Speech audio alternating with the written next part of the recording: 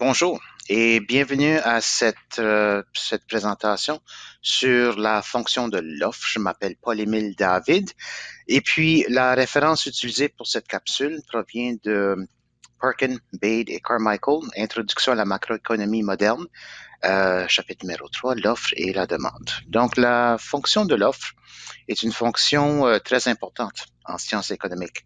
Ça démontre la relation qui existe entre euh, la quantité offerte euh, par les producteurs, par les entreprises d'un bien ou d'un service, et puis le prix de vente de ce bien ou de service-là, euh, toutes choses étant égales par ailleurs.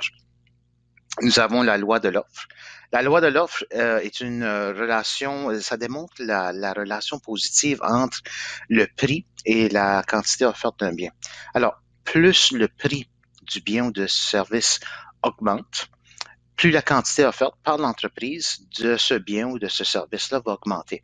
Et vice-versa. À mesure que le prix diminue, euh, les entreprises vont diminuer la quantité offerte euh, du bien ou du service. Alors, la fonction de l'offre peut être démontrée ou euh, visualisée par un graphique, comme nous le voyons ici. C'est une relation positive, une pente positive. nous avons sur l'axe vertical, l'axe des Y, le prix du bien ou du service. Et puis sur l'axe horizontal, euh, l'axe des X, la quantité du bien ou du service. Et puis nous voyons ici que c'est une relation positive. Lorsque nous passons du point B au point C, nous avons une augmentation du prix de 1 jusqu'à 1,50 et puis la quantité offerte va augmenter de 3 à 4. Alors, c'est une relation positive, c'est un mouvement le long de la fonction d'offre. Alors, à mesure que le prix augmente, la quantité offerte va diminuer et vice-versa, si le prix diminue, nous passons du point C au point B, la quantité offerte va diminuer. Alors, l'offre peut être visualisée par une courbe. courbe. Euh, ça peut aussi être visualisé par un barème de l'offre, qui est un tableau, tout simplement, qui décrit les différents points où nous avons la quantité offerte d'un bien et le prix de ce bien.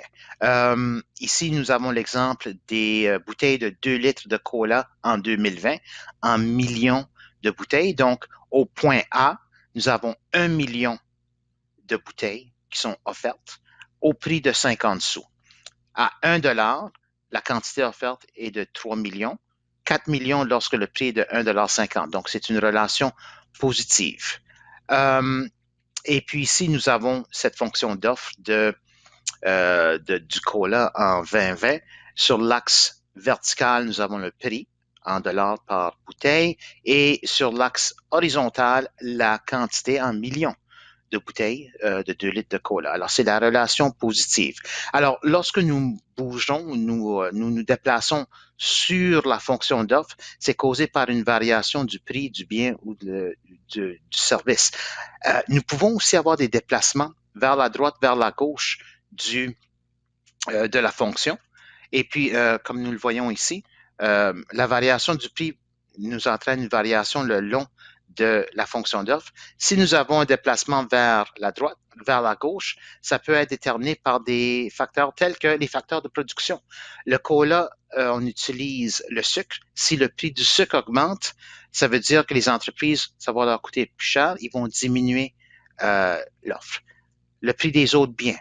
Euh, si la compagnie de cola fabrique aussi du soda gingembre, du ginger ale, ils vont, euh, et si la demande de, de, de, ginger ale augmente, ils vont diminuer l'offre de cola.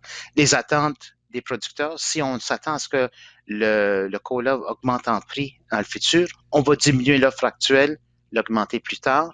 Si on a plus de producteurs, on va aussi augmenter vers la droite. Et puis la technologie.